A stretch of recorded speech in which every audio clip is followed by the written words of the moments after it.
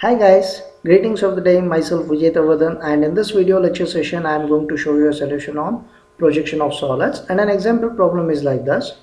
A hexagonal pyramid 25mm sides of base and 50mm axis length rests on HP on one of its corners of the base such that the two base edges containing the corner on which it rests make equal inclinations with HP. Draw the projections of the pyramid when the axis of the pyramid is inclined to HP at 40 degree and appears to be inclined to VP at 45 degree. So according to the given conditions, uh, so one can go to an applications, macros, run macro, click on the inside polygon, say open, then the flat line should be selected as 25 millimeter and the number of sides in the hexagon are always 6 and then press the left click on the screen anywhere with the help of a mouse so that one will get the proper hexagon. Now this hexagon is supposed to be rotated in such a way that it is going to be the resting on one of its corners. So I'll select this edge and I'll make that edge as vertical edge so that it will become a corner resting and it will be positioned below the XY line properly on the HP. Then using a 0.5 millimeter thick, one has to draw the diagonal lines as a dark lines to show that this is going to be the slant edges of the uh, hexagon when it is seen from the top and also change the line thickness to 0.13 millimeter and draw all the projectors from the respective corners of the hexagon to draw the front view. Now once it is done, then find out the intersection point of the NA2 diagonal so that we will get the apex position. Sorry not apex portion axis portion. Axis portion is going to be projected and the axis is supposed to be joined in the form of axis line that is chain line and the height is given as 50 millimeter so we will set the height as 50 millimeter. Then change the line thickness to 0.5 and a continuous line. So one can able to join this triangle as a front view like this. Sorry uh, the front view as a triangle like this. And then after which make use of a smart dimension or a distance between whatever it may be. Show that the height is 50 millimeter and the size of the hexagon is 25 millimeter then make use of a text command, start naming the corners as A, B, C, D, E and this is going to be F and this is going to be O as well as O1. And in the same fashion, in the front view, this will become A dash, then we have B dash as well as F dash and after which we have O1 dash and after which we have C dash as well as E dash and then we have D dash and in the same fashion the apex will be named as O dash. Now one can say that the front view is completed in all aspects. Then the axis is inclined to HP at 40 degree. So one has to select the front view, go with the command called as move and take the resting corner D dash on the XY line at uh, convenient distance and locate it properly on the XY line. Then go for a rotate command rotate the base with respect to d dash as fixed and d dash as rotating and the base angle is supposed to be 90 minus angle theta 40 degree. That is the base is supposed to be rotated at an angle of 50 degree. And after which make sure that the axis is clearly incl uh, inclined at 40 degree. Yes now it is inclined at 40 degree. And then go for the next step. That is go to a line command with a thickness of 0.13 and a continuous line. Start drawing the projectors from the respective corners. Now O dash is connected to here. So along with O we have D as well as we have B, sorry uh, not B, A. Then uh, O1 is going to be up to that position.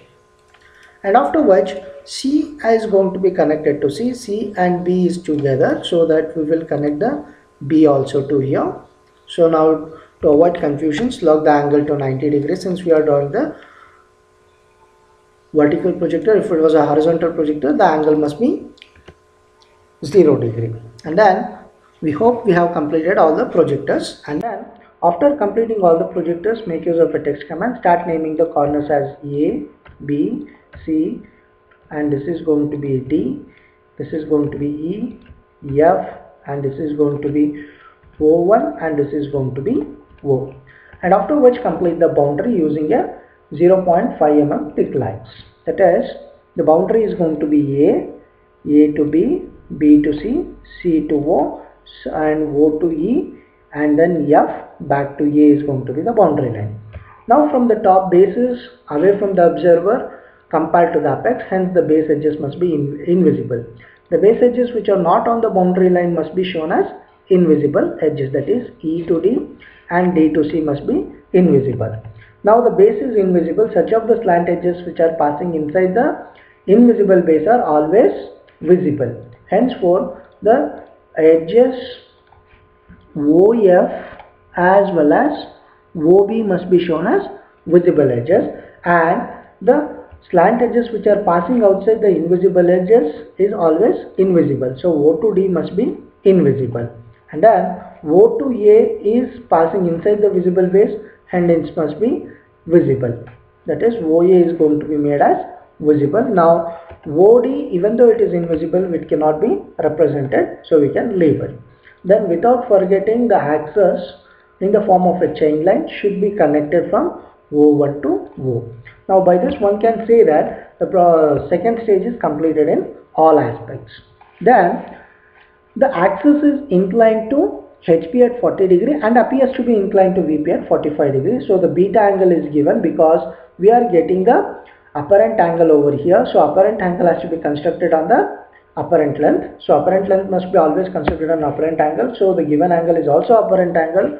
One need not to construct it. So make use of a line command with a thickness of 0.13 and a continuous line and construct an inclined line whose angle is supposed to be set for angle 45 that is the angle beta. Now after constructing this beta line one has to take this top view completely on the beta line using the move command. Move in such a way that O1 is going to be repositioned. We'll select the O1 properly. O1 has to be positioned on the 45 degree line like this. Then go for a rotate command. Rotate in such a way that O1 is there on the 45 degree line and O is going to be shifted on the 45 degree line like this. Then make use of a line command and start drawing the projectors.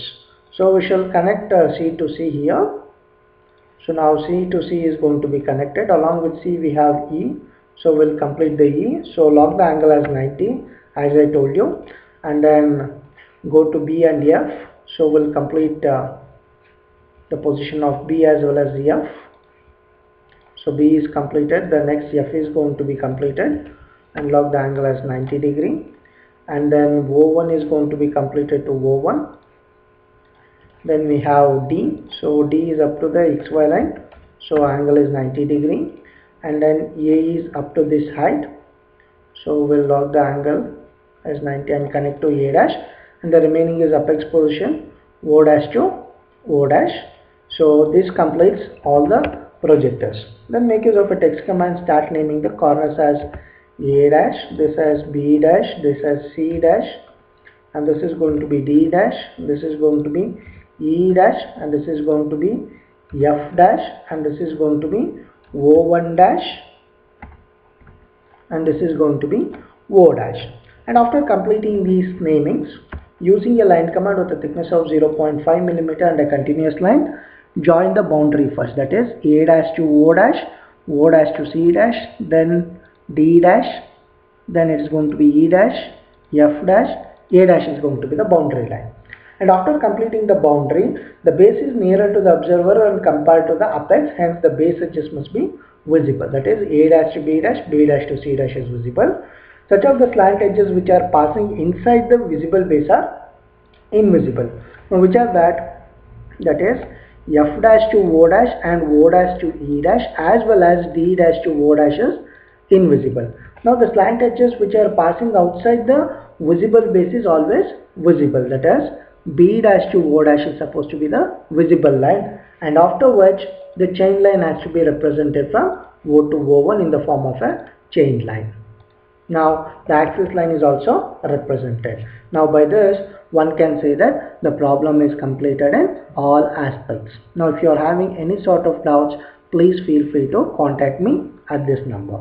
And also kindly share this video to all your first year engineering students and also do subscribe to my youtube channel. And thanks the thanks for watching this video once again